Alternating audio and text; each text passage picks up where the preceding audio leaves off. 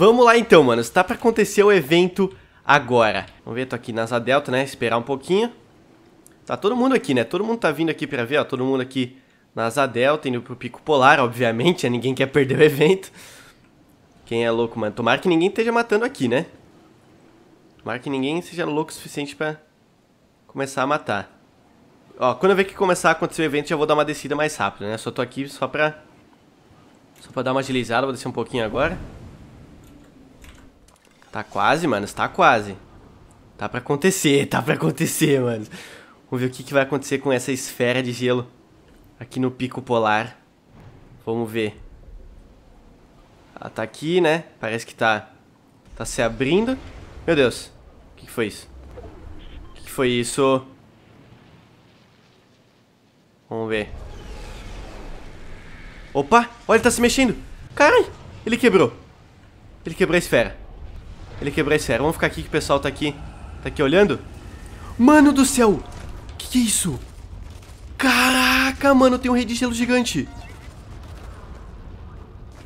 Que isso? Ó, ó, o que ele tá fazendo ali, tá fazendo ali, mano. Que da hora, velho. Que isso, mano? Vamos ver. Ih, Tá vindo pra cá. Ih!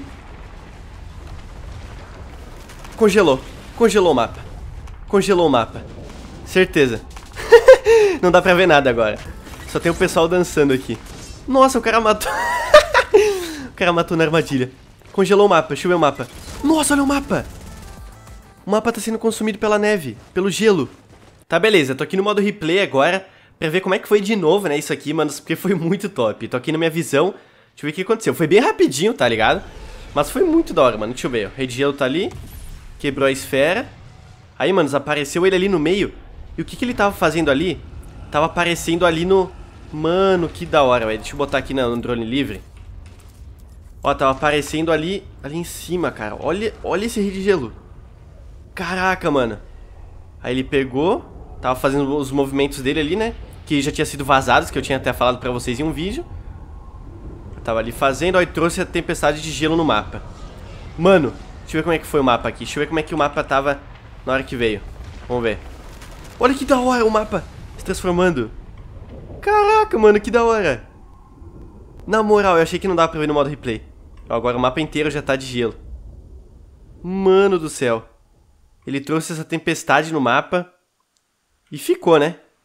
Ficou no mapa, como eu tinha falado, né? O mapa depois desse evento irá ficar assim, desse jeito, todo coberto de neve. Esses aqui, mano, são os fragmentos de gelo, né? Que estão espalhados pelo mapa todo. E provavelmente eles geram aqueles monstros de gelo também que eu já tinha falado que tinham sido vazados anteriormente. E tipo assim, de mudança no mapa, novos locais, eu já dei a volta pelo mapa inteiro, não encontrei nenhum novo local. Obviamente o mapa agora está coberto de neve. E eu vou dar uma olhada aqui agora no bunker. Pelo que eu percebi também no bunker é que nada mudou. Eu não sei se é bug do modo replay, tá? Aqui mostra a rocha ainda em cima do bunker, mas pelo que parece também nada aconteceu com o bunker aqui durante esse evento. Enfim, galera, como deu pra ver, o evento foi bem rapidinho, mas foi muito da hora, né? E agora o mapa está coberto de neve e com os fragmentos de gelo que geram os monstros de gelo também. E galera, agora liberou também os desafios do evento Tempestade de Gelo. Como eu havia falado, são exatamente 13 desafios, todos eles já foram vazados. O primeiro desafio é para você concluir desafios Tempestade de Gelo, 6 desafios que não dá pra fazer ainda, destruir demônios de gelo 250 e causar dano com armas explosivas à Legião do Gelo 5000 de dano com armas explosivas.